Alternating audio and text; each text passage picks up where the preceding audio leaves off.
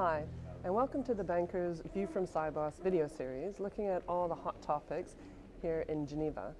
My name is Joy Macknight. I'm Transaction Banking and Technology Editor at The Banker, and I'm here with Tim Bosco, uh, Head of Innovation Strategy at Brown Brothers Harriman. Thanks so much for joining us today, Tim. Thanks for having me, Joy. So, what main trends are you seeing within the fintech community globally? Well, I'll tell you, I think the the term fintech is fairly generic, as you can imagine. It, spans a pretty wide range of different types of solutions that are out there. When you look at kind of the core theme that runs across all of them, though, clearly it's digital transformation. And I guess what I mean by that is more about uh, sort of an efficient assembly of, of, raw data into actually useful information that uh, any of our clients and, and across the, uh, the industry might might need. Um, so when you look at uh, when you look at what's available what's really uh, here in terms of technology companies at, at Sibos, uh, what you tend to see is a lot of transaction processing, payments processing uh, uh type companies. Um, and so you really think about it, the fintech tends to follow demand. Uh, and uh, so that that's obviously is a, is a huge opportunity. In the space that BBH operates, we're less of a transaction processing bank. So as a custodian and a fund services manager, really the hot topics for us today are about uh, compliance, transparency, uh, the reliability of our systems uh, for our clients.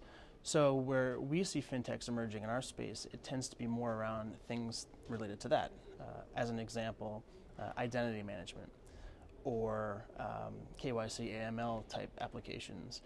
We even see that we're approached often by fintechs that have really comprehensive systems for tracking in real time data flow throughout the multiple systems that we have at the firm. But do you see the fintechs as disintermediating the banks, or do you really see them as a more of a collaboration play?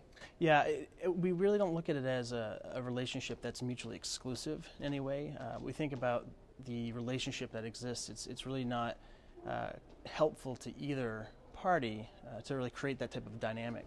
Uh, I, I, think with um, uh, the opportunities that exist today, uh, really, if you take it the, the perspective of the fintechs, uh, what they see in terms of uh, the opportunities with banks, banks have obviously the client reach that they need, the customer pipeline that they're hoping to build, and a lot of times, as I mentioned before, uh, the digital aspect of their solutions, the banks hold that really massive reservoir of data that they need to use in those applications to make them useful.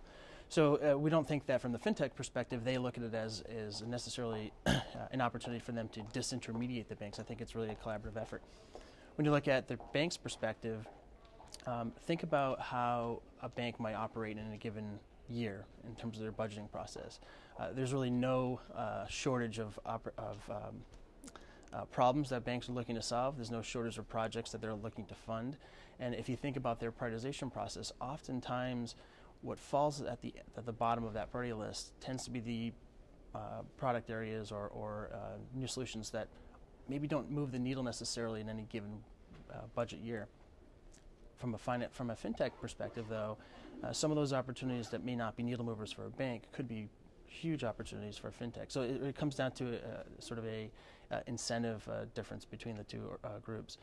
so we oftentimes, as, as banks, look at the fintechs as really taking up um, uh, opportunities to improve areas of our firm that, that we aren't able to get to. So from that perspective, certainly it's collaborative. Uh, so do you really think that the banks need to take the sort of fail fast mantra of the fintechs in order to survive in this environment?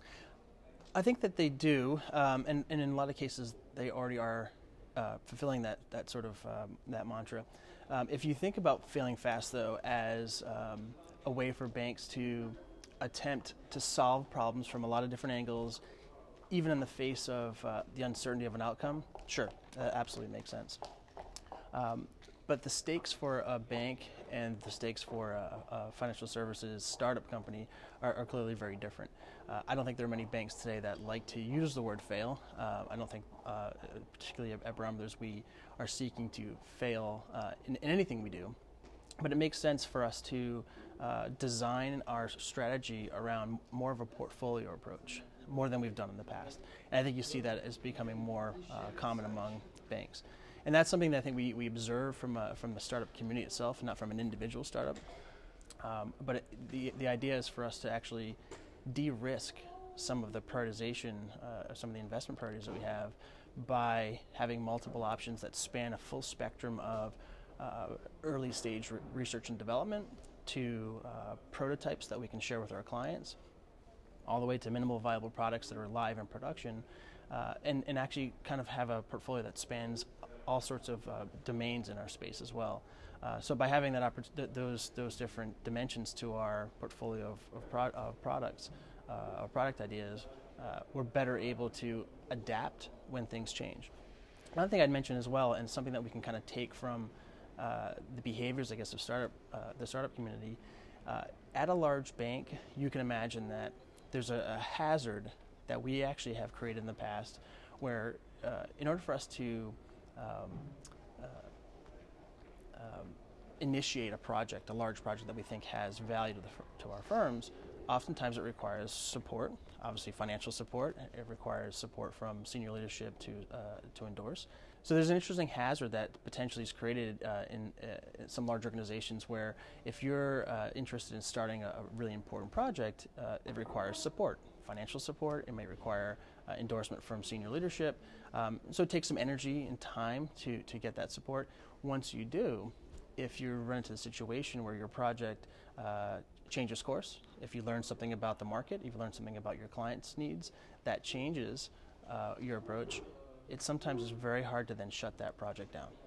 And so, uh, one of the things that we've learned uh, in our in our particular situation is it's actually helpful for us to intentionally limit the scope and the duration of some of the early initiatives that we have uh, in our innovation uh, portfolio.